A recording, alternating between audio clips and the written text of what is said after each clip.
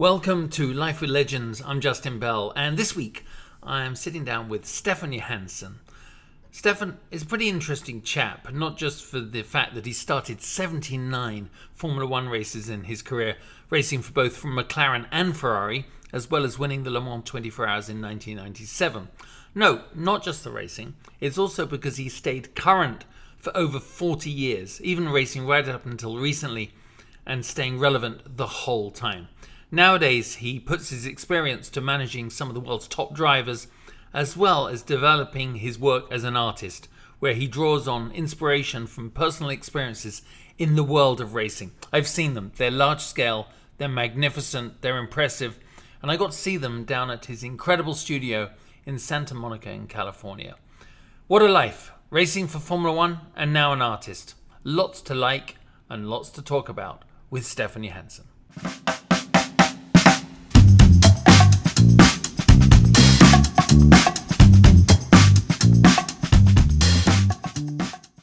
Well, first of all, I can't believe that I'm here. I can't believe I've never been here before. Yeah, It's yeah. For some reason, I thought you came some years ago. No, no. Must have been ah. Justina. Must No, have been, yeah. must have been Justina. it Justina? See, you know, it's, it was. I always think to myself, one of the things, you know, when you read an obituary on someone, you go, Yeah. I never knew that. Yeah. Right? You know, you get the BRDC. Do you, mm-hmm. you're on BRDC, right? Aren't you? No, No, I'm you not actually. Oh, yeah, Oh. I, I, I should be. I, I, You should be actually. yeah, Yeah. I've never really bothered with any of those, you know, members. But uh, yeah, BRDC would be. British Racing Drivers Club, nice thing to. It's like it doesn't. I do there. It's a hundred pounds a year to be there Yeah. overseas because I haven't been to British Grand Prix. And, I've applied for the RIC. oh, that'd be. Good. I did that event over there, a couple, Yeah. you know, a few weeks ago Yeah. with the with the art thing they do every year. Yeah. I mean, it's. Uh, the, I mean, that building, the whole setup there is amazing. It's so nice. It's It's so- fantastic. So, I mean, Yeah. I remember the, back in the day, you it was really posh together, right? really formal. Mm. Yeah. And so I was living in London. I'd somehow managed to get that RAC membership. Yeah. And I mean, like, it wasn't very expensive, but you could go to the club. Yeah.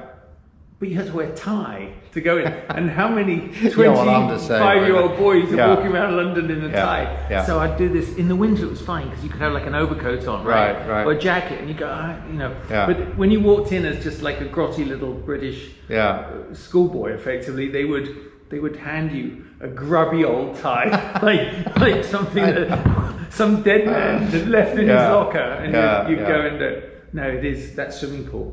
That, Yeah, you know, you go in there. It's It's so unbelievable. Yeah. Dad actually last year, two years ago, last time I was actually in England, he um he had a dinner for Jackie Stewart's birthday, Right. and of course, being Jackie Stewart, you know, the Queen was coming Oh, right. for lunch Yeah, at the yeah. RAC. I don't, don't think that happens to the rest of us, but you know, doing Jackie and I'm um, I dropped Dad off, and then I, you know, the doors close and he goes inside, and I go across to some Lebanese coffee place across the street. You know, Yeah. I'm sitting there going, pissing rain, and he said, "My dad's about to have." Lunch with the Queen, and, and I'm stuck in the peeing rain having a coffee. So that kind of sums it up, Yeah. really. But no, it's good. Yeah. Anyway, the BR, the you know the BRDC thing that you get these emails, Hmm.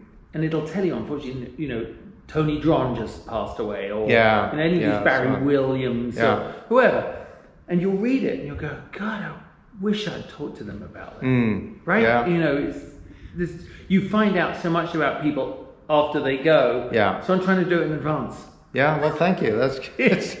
That's always good. So after Yeah. this, after this is up to you. You can Yeah. do what you want. You can you can Exactly. you can stay or go. But Yeah. shit, I so yes. One of the reasons I said that was so last night I'm just online looking, you know, checking into your past and stuff because I'm like, God, I mean, I know your racing history a bit, but I had no connection to how your racing history ended up with you having this art. Yeah. You know, and that side of it. And uh, when you read the your racing past, it's there's something you say on your website about your art, and it's like your life before, Yeah. the life that you used to have, Memories of a past memories life. of a past yeah, life. exactly. Yeah. And, I, and it really came across that way. I was thinking, God, 79 Grand Prix, 12 podiums. That's a, pretty freaking good, isn't it? yeah. If well, you look back on it, it's decent. it's decent. It was- I mean, you were up I against mean, some you pretty. know, everybody were- wants more, of course, you know. But You were uh, up against yeah. some big yeah. boys, though, weren't you? Yeah, yeah. I mean, it was a good period because there was some pretty strong drivers back then as well. Of course, yeah, definitely. I think um, when I saw the picture of you in that, you know, that Ferrari, like 86, wasn't it? 86? 85, 86, yeah. 86. Because that car you see, I think, at various concourse, you know, you see that model seen Right. a couple of times, and I think once with your name on. And you, it, arguably, maybe the prettiest Formula One era. Yeah. Don't you think? You look I- I think so, yeah. That high really- nose coming yeah. down, and Clean, very clean design. Yeah, it's, yeah.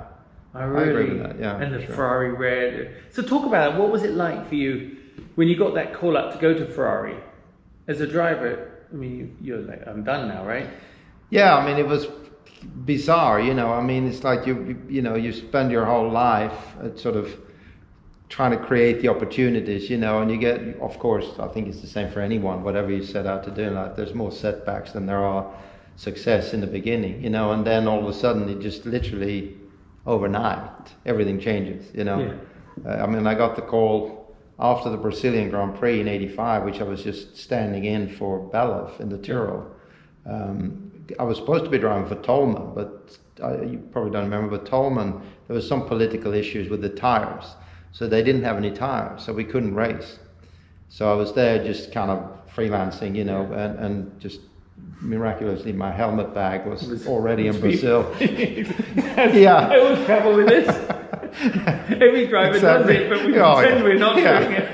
I would never turn up and say, No. turn up with my helmet. What kind of a moron am I? Exactly. So anyway, so Ken literally came up to me half an hour before the first practice.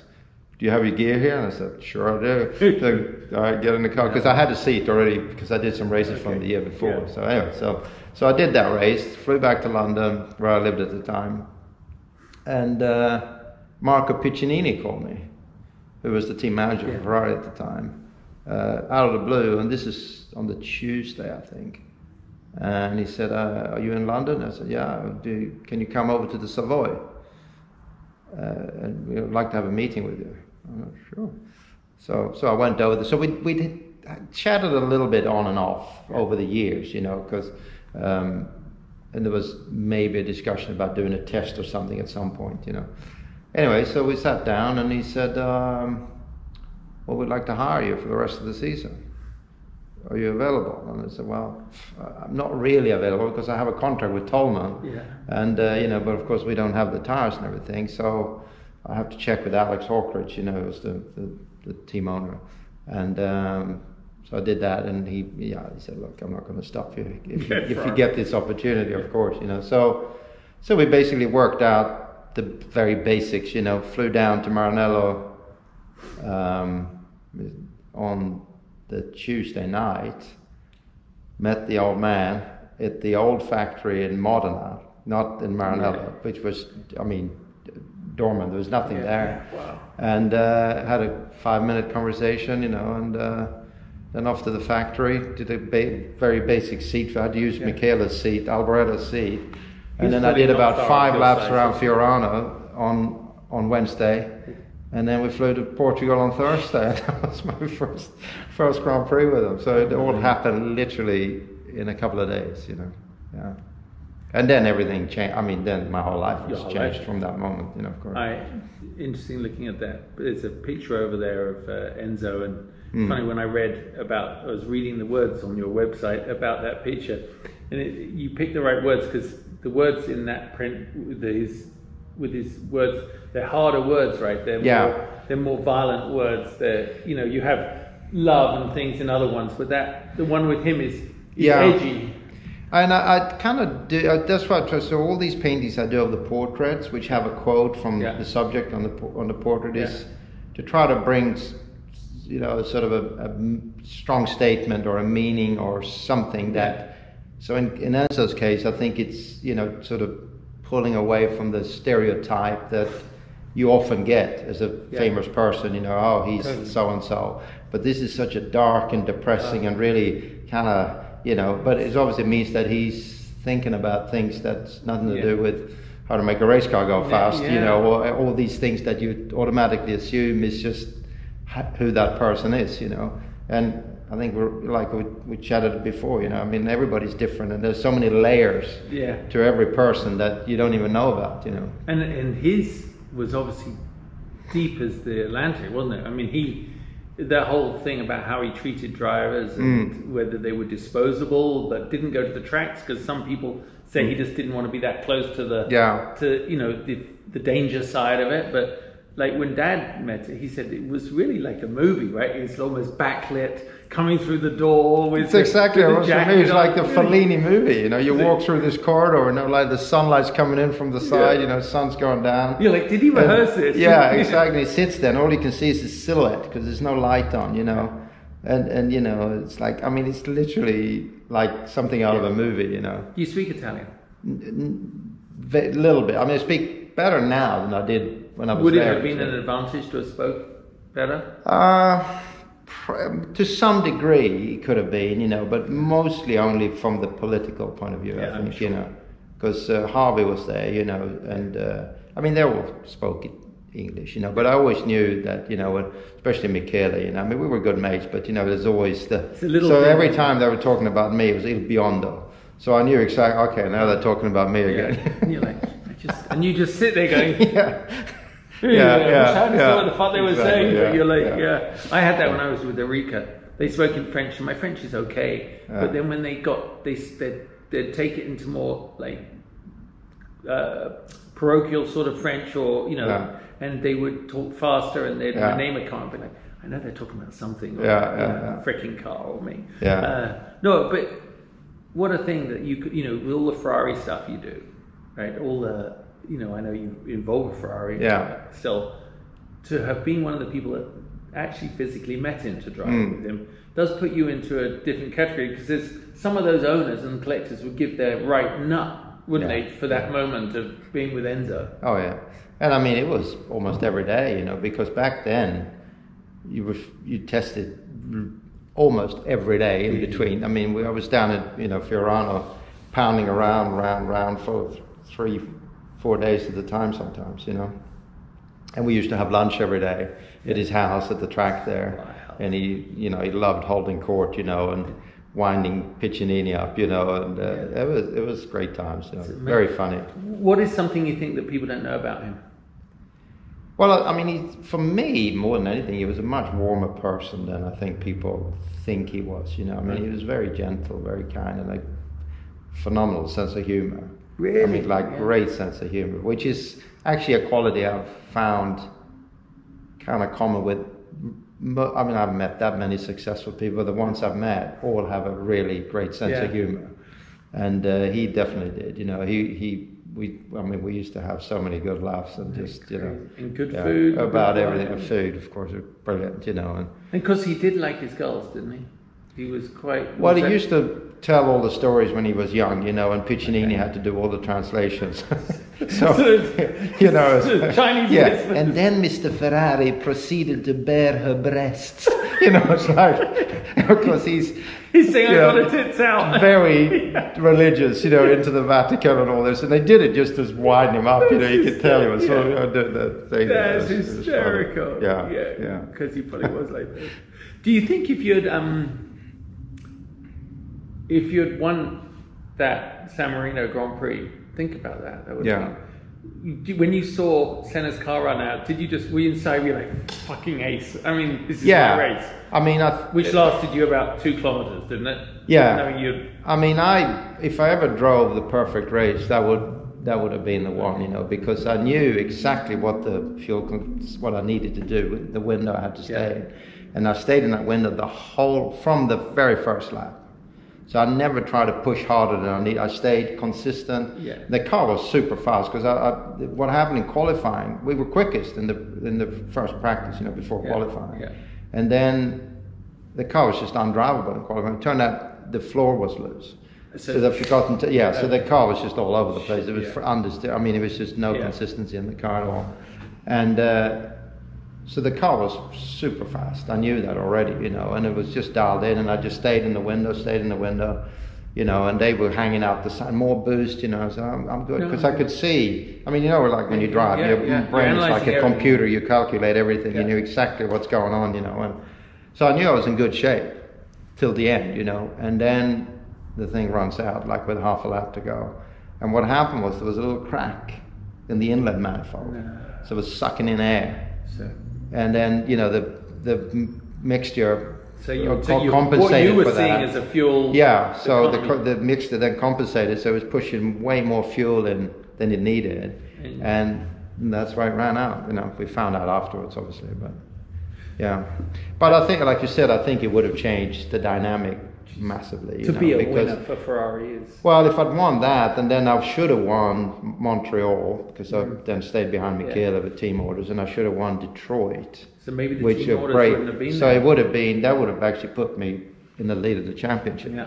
Then that would have changed the dynamic completely, not only within the team but also my own Yeah. mind. You know, because the first one is always the hardest. You Yeah. know, it's just, you know, I mean, whatever you do. win, you know. to win in red Yeah, would be. but that would have given a whole different uh, dynamic to everything. You know. I was reading that they said that Murray Walker and James Hunt were like they kept the wrong guy at the end of the Mm. year. You know, did you have that feeling that you? Well, you- I mean, I obviously did Obviously because wanted uh, but- you know, I mean, my focus in '86 was mainly to beat Michele because that's the only thing we could do. Because the car, unfortunately, the '86 car, you know, wasn't a great car. You Yeah, know, yeah, so yeah. It was, the only focus was really to do that, and I did. You know, so Yeah. I was fifth and he was seventh, I think, in the championship. amazing, and, um, really. And but you know, I mean, politics. There was always a lot of politics there, of course. You know, and uh, Do you? is what it is.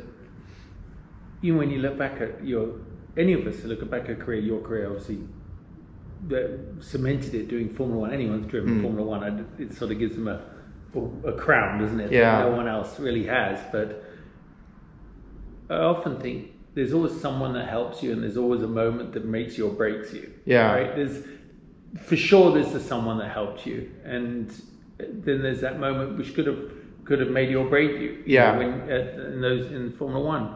But who was the person that helped you? Who was your?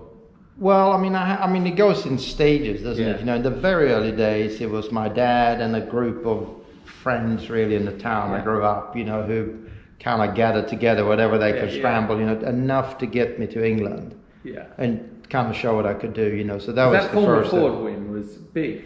Yeah. At that point, to win in Formula Ford is. Well, Formula Ford, I never. I only did a very few oh, races Oh, in. Formula Ford. F three, you know, I won the F three championship. Oh yeah, well. F three. Sorry. Yeah, yeah. that's so that obviously then you know Yeah. then and you know and from that moment on it was really John Hogan who was the boss of Philip Morris you Yeah, know yeah. who really you know he helped me tremendously not just in the way of with sponsorship and but also you know just from a human standpoint Okay, yeah. you know I mean it was I went through this period in F3 there where I was like desperate, you know, like just overdriving, you know, and really trying too hard, you know. And he, he took me to dinner one night and he, and he just said, look, you don't need to win every battle to win the war. Really. Yeah, yeah. And, you know, that's always stuck in my mind, Yeah. you know, and, and it's so true, you know. Yeah. I think there's a few others I could think of right now that might might benefit I mean, from that as well. I, yeah. I, I tell you, I, I mean, by the Yeah. time people listen to this, the, the, the F1 championship we decided, um, so we'll have the benefit of hindsight. But that Grand Prix on Sunday, I am just, go- I mean, I am standing up. I don't know about you, I'm, Yeah. I'm like, what the fuck? Yeah. I mean, it was Yeah. just, I mean, it's out of control. I mean, they lost the grip on it, unfortunately. You know, I Yeah. mean, it should never be allowed. No. You know, at any level. I mean, for, for, And, for how you- Lewis and Max Yeah. to be doing the things they're doing to each other, it's like that. As a driver, you have to have that to stop chaos Yeah. and mayhem. You have to have that some ba- boundaries, right? Yeah. They've not crossed. They've gone past that. well, I, I mean, I, I admire both of them Yeah. hugely. I mean, obviously, you know, on a different league to the rest, but. I, I think lately, had Lewis not backed off, obviously they would have crashed every race. Yeah. That's the only. There's, Right. Those are the only options. Yeah, yeah. You know, and but I think the bottom line. I mean, there's a couple of factors I think that really makes this what it is today. It's first of all, it's the tracks. They got to figure out what to do with the racetracks.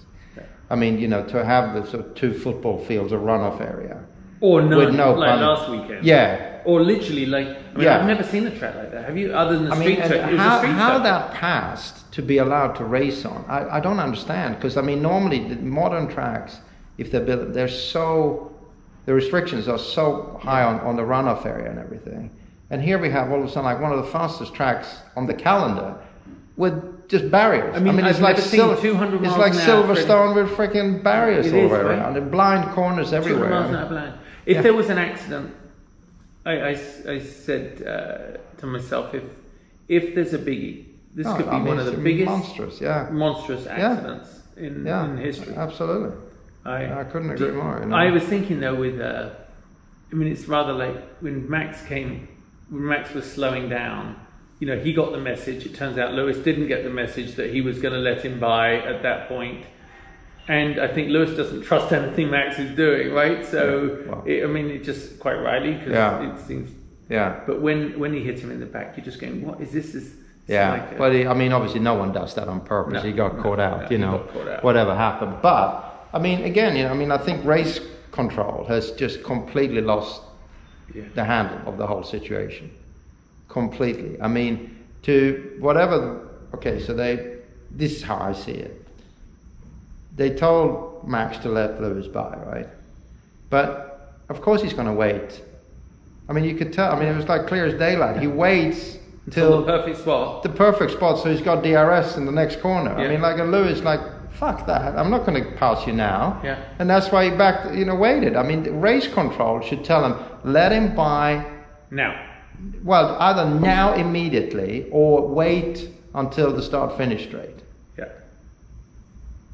It's you know you can't. I mean, like anyone know could see it. I mean, anyone who have a, even the vaguest understanding of what's going on, and if race control don't have that, then we're in serious trouble. Yeah. I mean, you know, they got ex drivers up there. They have everything. They should see what's going on. I mean, it's as clear as Yeah. daylight. I mean, you know. And, and do you, I wonder if that we're going to see a rule change that they will create a repass zone on the front straight or something in It- front of there has everybody, to be. and and maybe they can their DRS is disabled for that lap. You know when the, He- One or the other, or something that doesn't give the other driver an advantage by letting him by. I mean, it was like, I mean, it was obvious. And Max didn't clear him by a he didn't Lewis didn't clear him by a car length. I don't I know that's not the rules, but he only got to here. Yeah. Max pissed off. Again. Yeah, exactly. Crystal ball on who will win. It's impossible. I mean, I think, unfortunately, the way it's escalated the whole thing now, I'm worried. I hope it won't happen, but I'm worried it's going to be decided in the stewards' room, Yeah, I know. and they're going to have a, you know, somewhere that's going Fight to fight it all over the yeah, winter. Yeah, No, I know. yeah. I, I, it's a shame, you know, that it has to get to that, but again, you know, it's partly the, you know, the fact that they've kind of lost control of the whole situation, I think, and but for me to to avoid all this, they got to revisit how they design these tracks. There's got to be, you know, of course you don't want anyone to get hurt, but there's Yeah. got to be a different way to do the runoff. Like you know the tracks here in America, you know, Mid Ohio, Elkhart Lake. You put a wheel off the off the white line. Well, you may not be gone, but it, it's enough to slow you down to lose the position. Oh yeah, yeah. which is all you yeah, need. yeah, that's the yeah. that's enough punishment. There's because no, no, one's going to do it. limit punishment. No, exactly. That's what I mean. If there was just the slightest punishment, enough to lose, like in the start, half the field is in the freaking runoff area with a f- foot to the floor. I know. And I mean, so when does the rule apply? Does it apply all the time or only sometimes? Yeah, You know, the you, you know. Then other tracks, you have a wheel off the white line, the the, the inside, then you get punished. So it's like I don't think the drivers, you know, it's just so inconsistent Yeah. and so random, and that's they just to avoid all that. I think the best way would just be to fix the tracks. You wouldn't have to Yeah. because no one ever worried about that before. Who it sorted designs itself it? out Who every designs time. these tracks though? Is it? Well, it's- it's, always the same sort of Well. Tilke decides the tracks, Yeah. but I don't know if he's the one who's in charge of what the runoff should yeah. look like. I mean, yeah, he does the. I mean, the, just I think. Charlie used to sort of be more involved in that. more involved, but I honestly don't know how, Yeah. how it works now. But when we're watching it, you go, "I would never put a corner like that in. That looks like the most stupid." Yeah. You know that they.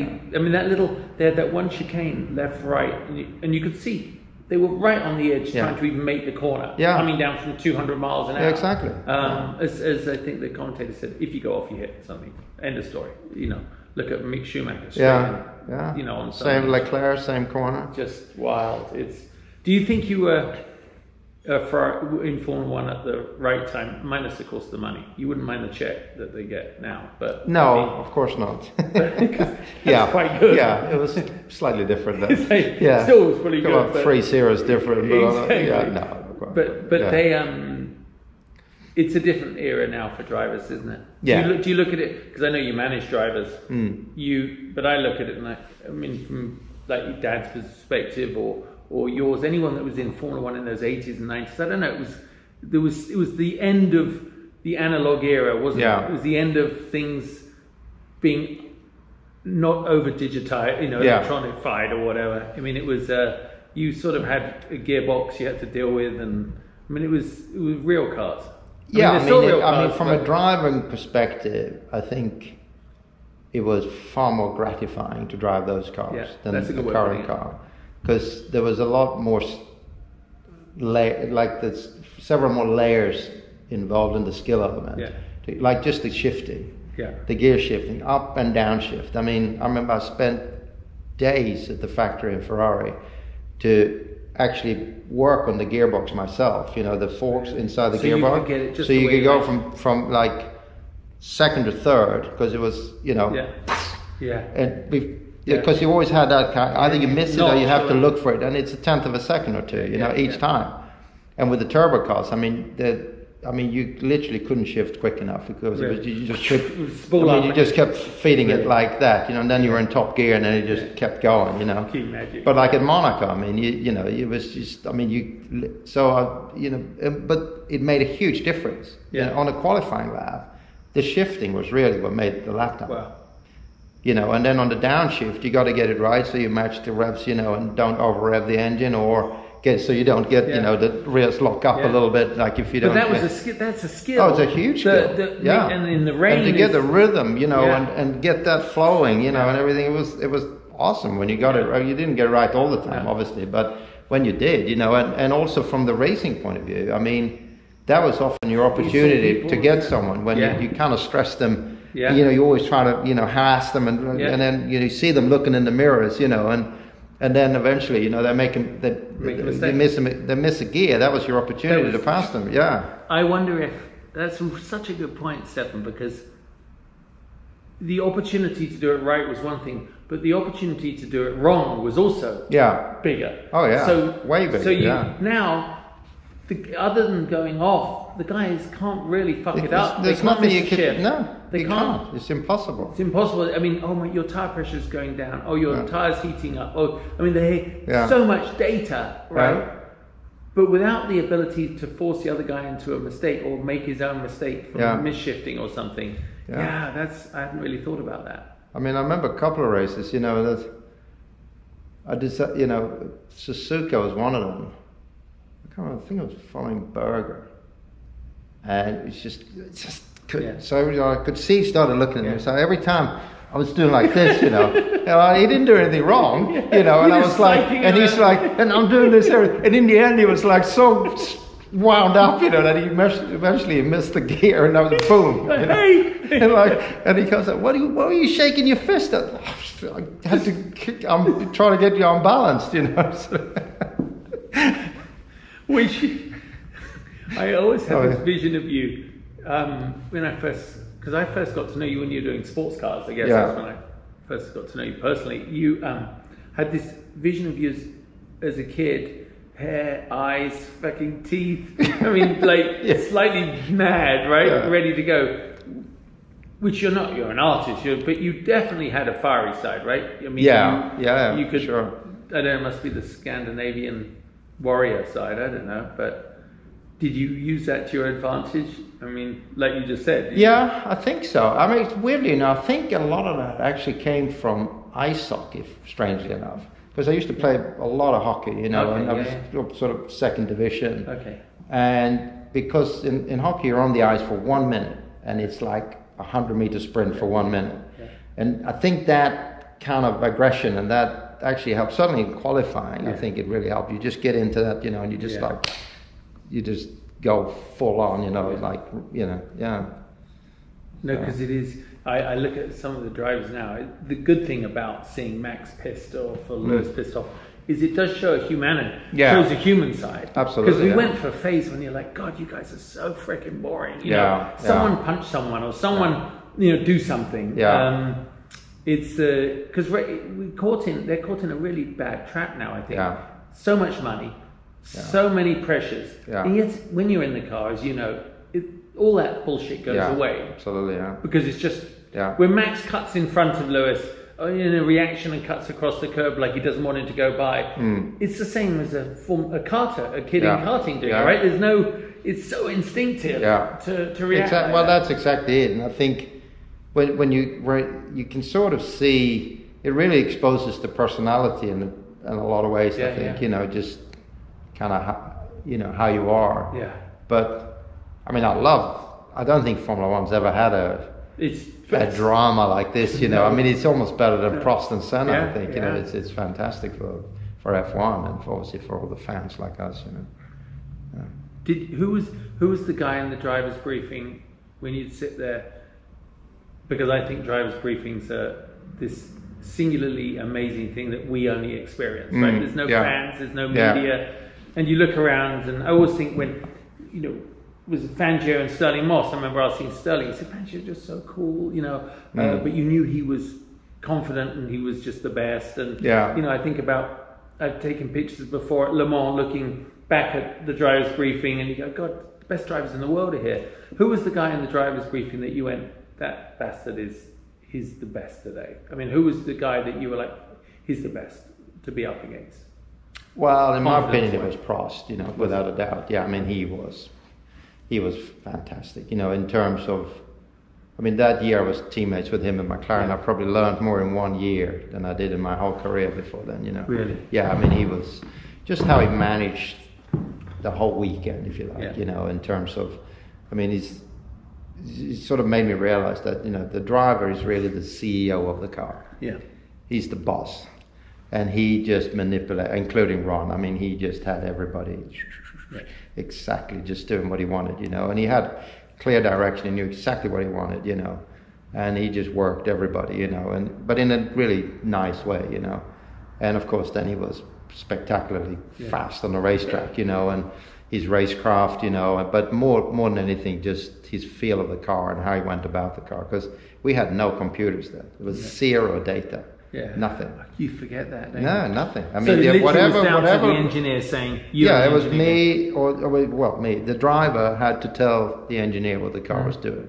That was the only information you had. Yeah. There was nothing, no sensors on the car, no data, nothing. So the ability, I mean, you, I remember this, the opportunity to go down the wrong path. Oh, was yeah. fucking huge, wasn't Yeah. it, on Oh, yeah. setup? Absolutely, yeah. And you know Yeah. when they go to you, so are you sure you heard that in the gearbox? You're like, Mm.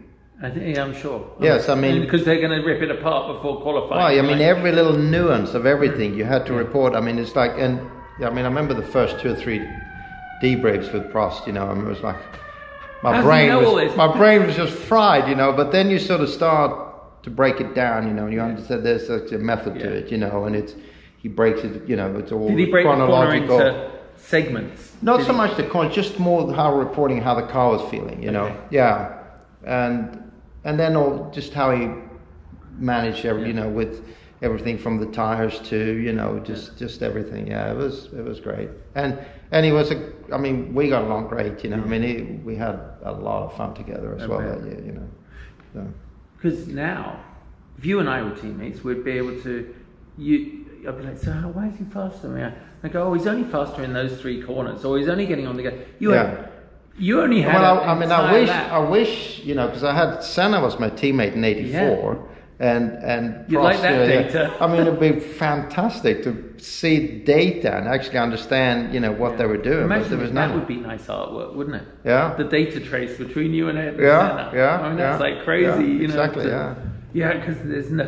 I, I remember the first time I did Le Mans in '92. Who was in that 962 with Dad and Tiff Needell. Oh, yeah. And you know, you I went locked up going around the outside of someone at the end of the Mulsanne. They'd spun on the inside of the corner, so I had to you know break and go around them. Yeah. And they go, they can't see it, but you come by as you finish that lap. They go, did you um, you know, everything all right? So I lost you know a couple of seconds. Yeah. And and I remember going, yeah, no, that was it was fine. It was traffic, and then but the next stint, you know, you lock up and go straight on a bit in the in the damp, and they go, what was that? Just going around the back, going past someone. You know, I mean, Yeah. they had no way to know Yeah. what you're doing. Yeah. They just say- And then you go forward a few years, and they're like, why why are you uh, you know. They're, they're so on you. Why were you slow on your out lap? Why are you slow on your in lap? Oh, you- no, now I it's mean, like you, it's uh, you can't. You do? No I remember the first thing I don't know about you, but like back in the day before all the sort of uh, electronic dash and stuff, the first thing you always did when you do a seat feed was make sure you could reach the, button on the back of the rev counter. to, to reset it if you over rev the engine, you know, so you didn't get a, didn't get a bollocking when you come in for Isn't over funny? revving, you know, exactly, yeah. There's so much. I wonder if all the information is. Yeah. It, I don't know if it's improved the sport. It, does, it doesn't improve the sport from the entertainment side of things. No, I, I don't think so, but I mean, you know. But it's the evolution. Look at Yeah, progress. It's exactly. Yeah, yeah. Did you? I mean, coming out of the, in the seventies was so dangerous. The eighties were equally dangerous because you know look at where your feet were in the car, and had they moved the front feet behind the center line of the wheel by mid eight? No, no, we were still sitting on top of the front wheel. Yeah, yeah. But it's bizarre, you know, because we thought then. We look at the cars from the 70s and like, thank God we didn't drive those things, thinking we were like, super safe, you know, Yeah. with a carbon fiber Yeah, tub and, you know, yeah. So, I mean, you know, it's just, but if you look at, I mean, more than anything back then for me, it was one thing to sit on top of the front wheels, but the way the head was sticking out, like, with Yeah. absolutely no neck support No. whatsoever. I mean, if you hit sideways, I mean, it'll just rip your head off the shoulders. Basically. Did you? Yeah. Were you the kind of guy the night before? Were you nervous? Were you scared? Not not scared, but you always have racing nerves. I mean, I actually, I didn't like it, but I wanted it because you I always felt I performed better when I had mm. some nerves. But you know, you've got the butterflies before Yeah, you get in the car. Absolutely, yeah, yeah. And the danger? Did that get to you? No, I mean it never. Not while you're in the middle of it. You know, you don't. I mean, sometimes you think. I mean, you know, I lost a couple of my So mates back then. You yeah. know, Bellof, De Angelis, Yeah. obviously, which is really the reason I started painting. You know, because we were like really, Really? really, really good friends. Yeah, we spent a lot of time together, and it was a pretty. That would really hit me hard. You know, Yeah. because I was there trying to get trying to get him out of the car Oh, as well when we were testing at Ricard. Yeah, so it was uh, it was pretty And pretty nasty, you know. That- but that then brought me. I mean, I just wanted to. I don't even know why, honestly, because I had no thoughts of actually painting myself until that point. But went and bought some canvas and some paint and tried to do something in his memory, you know. And So, and that's what got me started. No, No, but I, I, I kind of grew up a little bit with art. My grandfather was a painter, you know, and, and then I always started. So when I started making some money in racing, I started collecting a few bits and pieces here and Mm. there on travels and so on. Yeah. So I had I developed a strong interest in art already, but not to physically do it myself, you know, at that point. What? So when DeAngelis, you can't even imagine the stress of what you went through because it's only happened to a few drivers. David Purley trying to Mm. Rescue Roger Williamson. I mean, it's There was a few of us. There was A few. myself, Alan Jones, Laffite. I think Prost might have been there too. Yeah, it was uh, you know at the end of the fast S's at Ricard there. So he just he Rear just, wing he came just went off. in. Yeah, well, rear wing, he just flew off the track basically, landed on the other side of the fence. Were you in the car at the time? Yeah, well, I just went. Uh, we sat literally on the pit wall, talking five minutes before, because we just came back from Rio. And of course, in testing, you're quite Yeah, you you're know, quite you relaxed, the car, just laughing and joking, you know. And then, yeah, it was, um, yeah. So That's, I I, guess how life works, you know. It's, it's I mean, Yeah. it's it's one of those things, isn't it? You you wonder whether those guys like Bellof at the peak of Mm. brilliance, just peak, and literally flashes of brilliance, Yeah. right? I mean, he was so fast yeah, and gone in a moment. And I follow it's an account on Instagram. It's just Stefan Bellof memories. Mm. I don't know how, but I follow it and because they copied Dad, so I think that's why I saw it. And you know, always putting up pictures of him, always putting up Yeah. cars, and he affected me because I was he was young, Yeah. and I was only, I just started racing. So Yeah. when he died, and I, I was there that day when he died. And I remember Yeah. Dad just walking away, going, "He didn't need to fucking die. I Yeah, mean, he didn't need to push that hard at that Yeah, moment." yeah. Yeah, I mean, I guess One moment, you know, it's like that. I think probably for most people in life, in the end, it's like one of those pivotal moments. Yeah, You do something or something happens that changes your life, you know, and yeah. for better or worse, of course. Yeah. I people always, you know, they say, you know, when you're a driver, you get asked, you know, were you scared or were you? And I say, no, because in the moment something's going wrong. When it's going right, you think you're immortal. Mm. When it's in the moment it's going wrong, you wouldn't know as the driver. We've all had accidents, Yeah. and you fight them, right? You do what Yeah. you do. But there's that weird moment that we'll never hope. Well, touch wood, we won't know now. Yeah. When you go the other side, right? Right up to the moment you fight, you Yeah. believe you're going to survive, and then you don't. It, it's uh, I mean, the fear. I mean, obviously, fear. I think is a good thing in the end. You know, you want to have. If you don't have, I mean, there's been a lot of fearless drivers, right? And they're not necessarily kill themselves, but they tear up a lot of equipment too. yeah, I know. So I mean, I think you. The fear is for me. It's always been kind of a. You know, I mean, you you hit the limit of what you feel comfortable with. Yeah. But as you know, you got to go way past that. Yeah. You can't stay in the comfort zone. You've got to push way beyond that Yeah. to go fast. To go, I mean, to be really fast. Yeah. But that's, I love that space, that Yeah. grey area where you're not hundred percent sure It's the right exactly what's going to happen next. You know, but you you know when you do it, I mean, that's like that painting I did of Ayrton there. You know, he talks about fear. It's the same. You know, he's basically saying once you've done it, it's very calm Yeah, everything just feels very calm and you're in control of you know you're on top of it but you know i mean i've only i mean one incident in particular that i always will stay with me was the last race i did at the indy 500 Yeah. in 96 you know where we i was in the penske and the two that's when al jr and emerson both didn't qualify and i knocked emerson out in the last round Yeah, wow. at like three minutes to six on on on bubble day but I had nine attempts until then, and you know we, we failed every time for various reasons, you know. And then I just pulled it into the line after the last fail, and got straight into the line again. Have it, for- you know, and I just told man, you know, just take all the wing out, just completely ma- so you took it all on you. yeah, just and, and, and Tony Bettner, no, no, no, no, we can't do that. No, it's okay, you know. We, uh, because you're in the twilight zone at that point, you don't even think like a Yeah, human yeah. being, you know. So, so it just do it, you know. And so they look, took like two and a half degrees out. normally you go Yeah. quarter degree, maybe half a degree at the time, you know.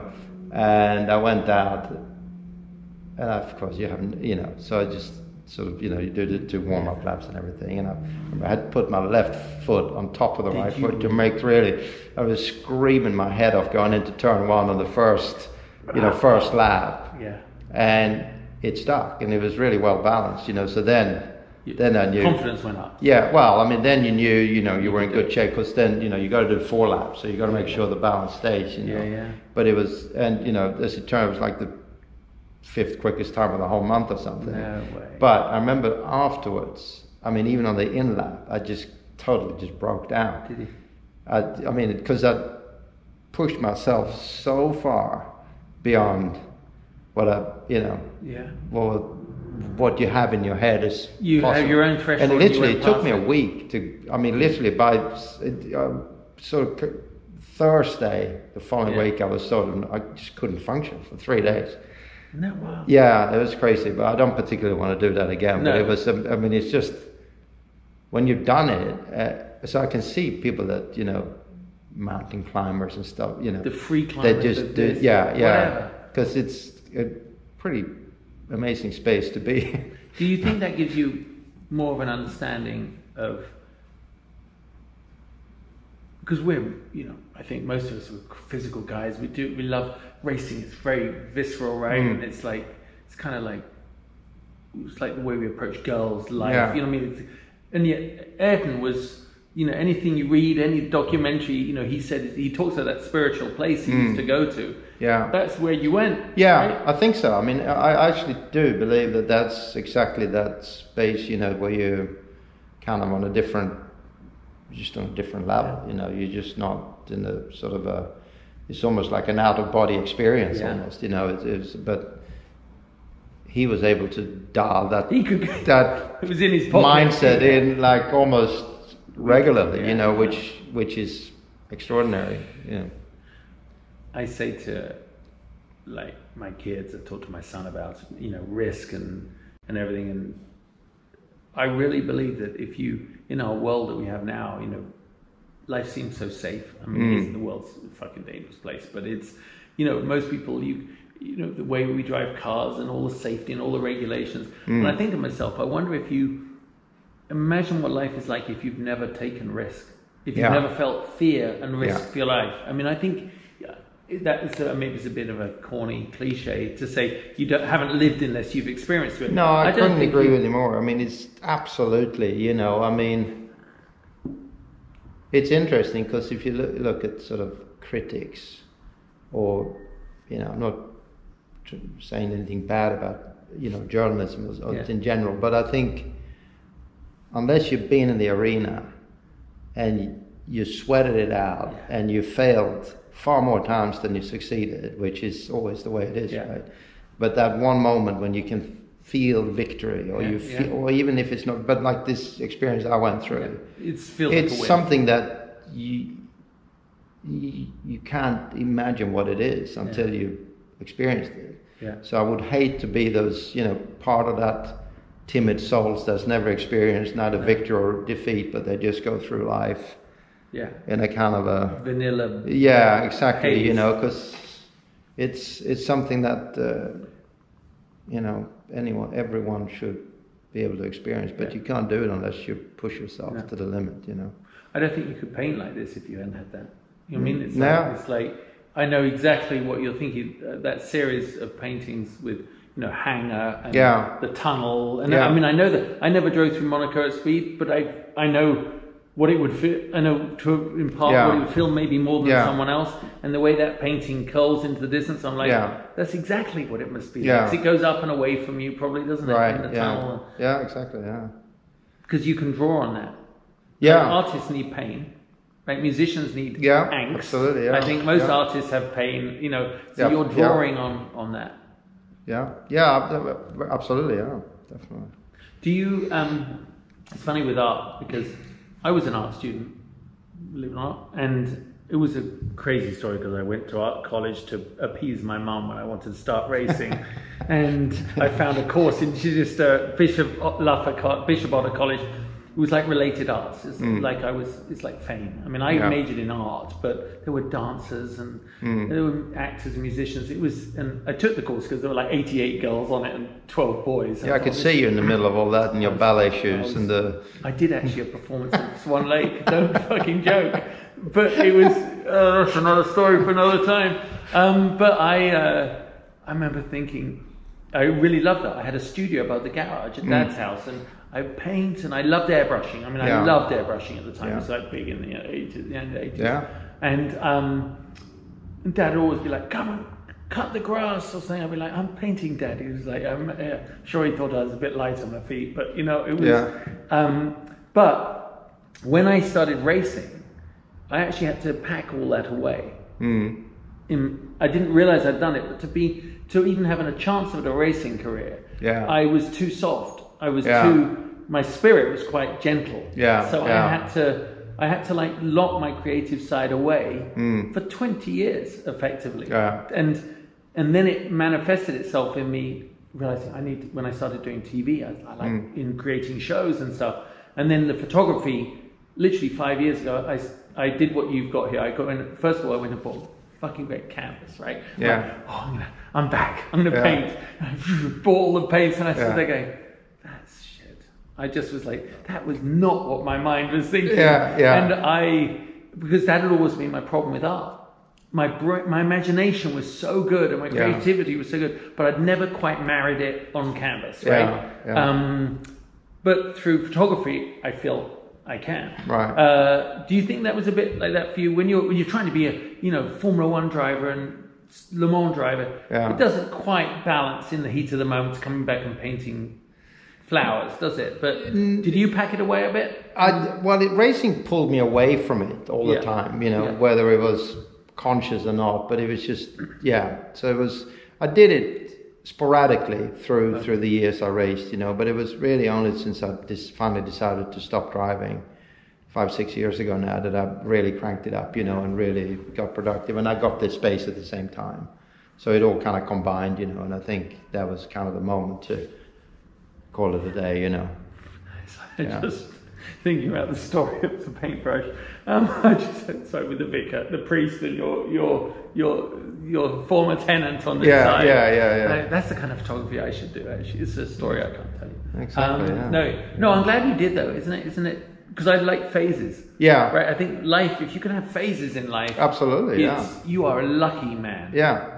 And here you are. This. I mean. I, you know, I think, yeah, I mean, to go through life in sort of one dimension or two, you know, but I, I think, I mean, we all have, I mean, I've always had this theory that I think everyone on this planet is born with a natural talent, hmm. but virtually no one ever finds out or they don't allow themselves to find out what that is, you know, Yeah. because you're passionate about something, but you never, it's always stuff pulling you away from it, hmm. or you never allow yourself to pursue it enough to really develop what it is, you know, or mm. what you're good at, you know. And so I think in that regard, I've, you know, I've been extremely lucky because I've never had a job my whole life yeah. really you know Yeah, i yeah. mean i've been racing cars since i was 16 Yeah. you know and then then then i sort of just gradually you know went into the art you know along the way so you know and i'm 65 so hopefully i can keep it going Well, yeah. you know No, I think it's. I think being able, in a way, also doing this is your is a legacy mm, that is totally singular to you. mm, yeah Whereas racing, we share the stage Yeah. with often greater yeah um, people uh, on their day or, or whatever. Um, but this is your this is this is an amazing legacy that will all be here.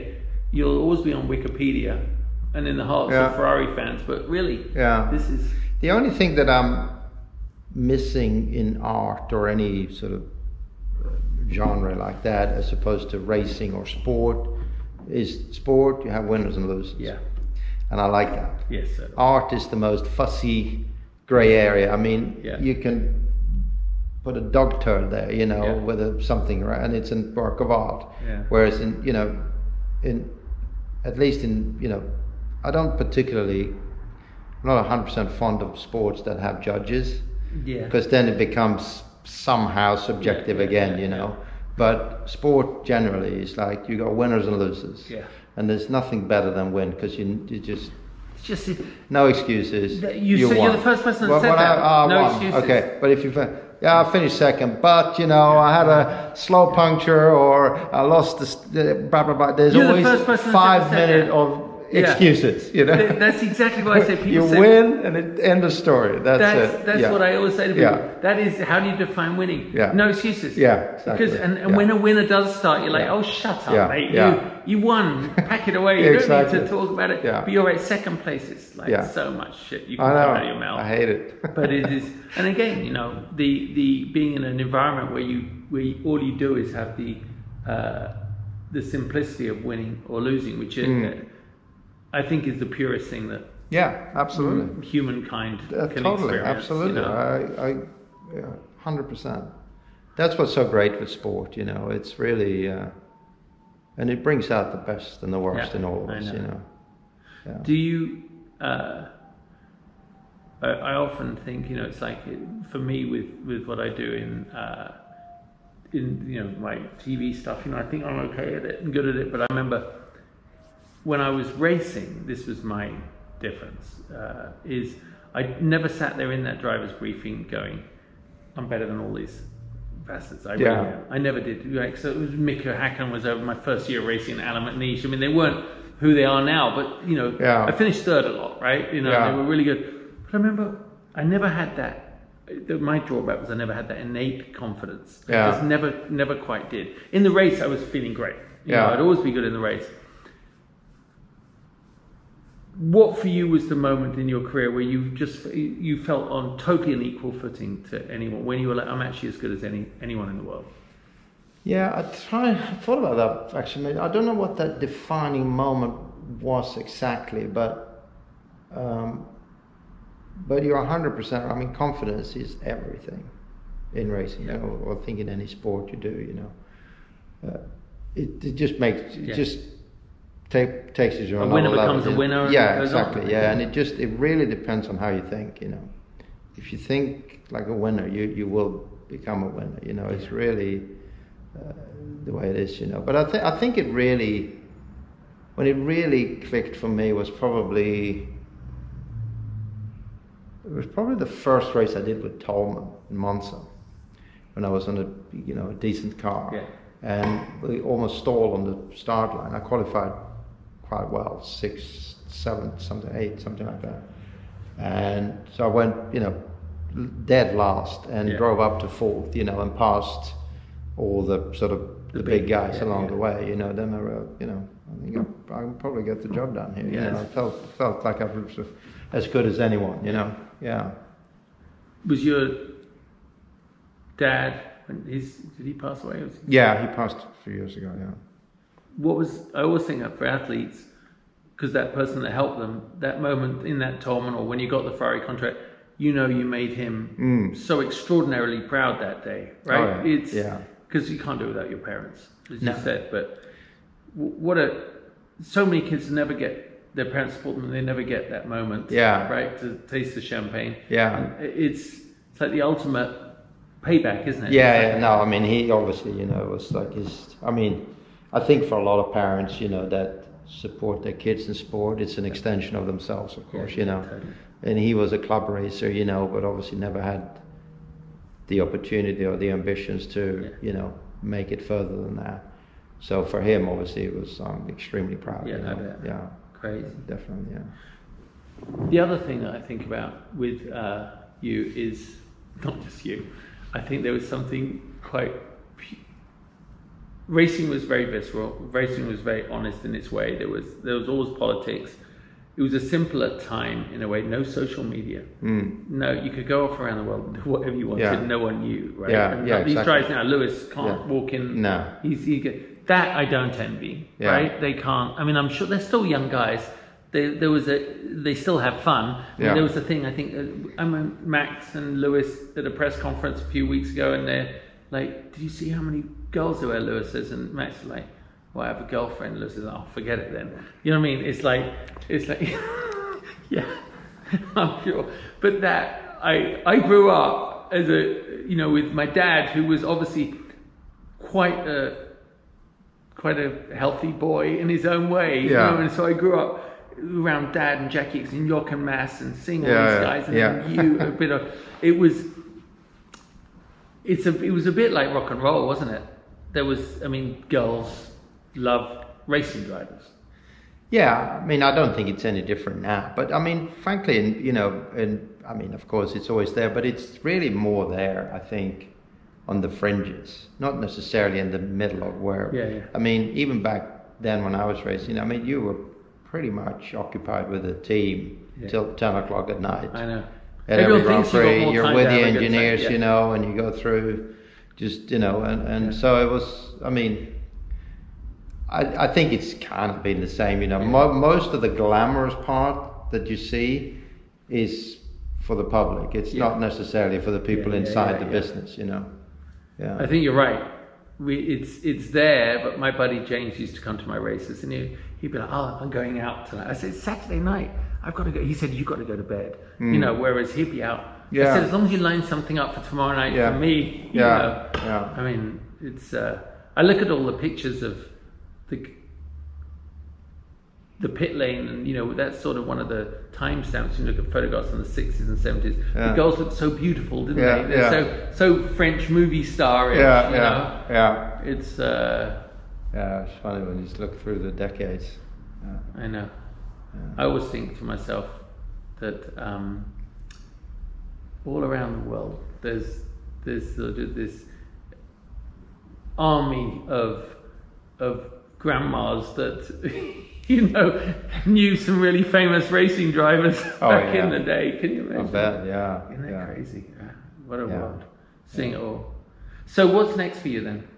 Just keep painting? Well, I mean, you know, obviously I'm still heavily involved in motor racing too, Yeah, although I'm not driving. You know, I manage Scott and Felix and a few other drivers, you know, and then I'm in, still working with Ferrari quite a lot, Yeah. you know, on, on the, their GT program, and uh, and then uh, you know more and more focus on the paintings now. Yeah. You know, I mean, I'm, I'm st- it's starting to kind of move. You know, it's like anything. I mean, this is a, like starting in Formula Ford and racing again. You know, and trying to have a new career. You know, Yeah, so. yeah. But I felt, I feel pretty good about it. You know, I mean, I'm not the best person in the world to market myself. So, Mm.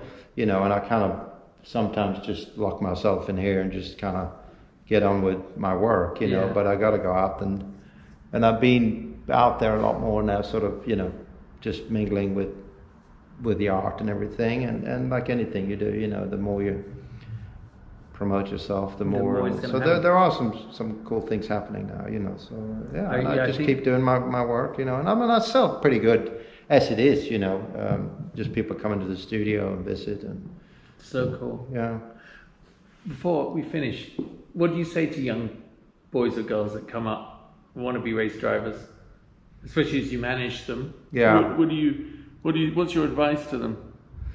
Well, I mean, I don't normally get involved until they're at, No, at I a know. certain level, But- you know. but But, I mean, I, the one yeah. thing I mean, you know, that, that I sort of try to tell all of them is that you know, just be brutally honest with yourself, and understand, you know, just to have a serious conversation with yourself and understand how good are you really, you Yeah, know. And if yeah, you yeah. hundred percent believe in yourself, then just never give up because you never know when the opportunity is going to come. Yeah. Just keep pushing, keep pushing, keep pushing, never give up, you know. And eventually, if you're good enough, I still believe that you can crack it, you know. Wow, Yeah. it's cool, mate. Thanks very much. Glad we did this. Yeah. I know. Love it. Love Good it. chat. Let's uh, Yeah. Let's take a picture. Yeah. All right. Cool.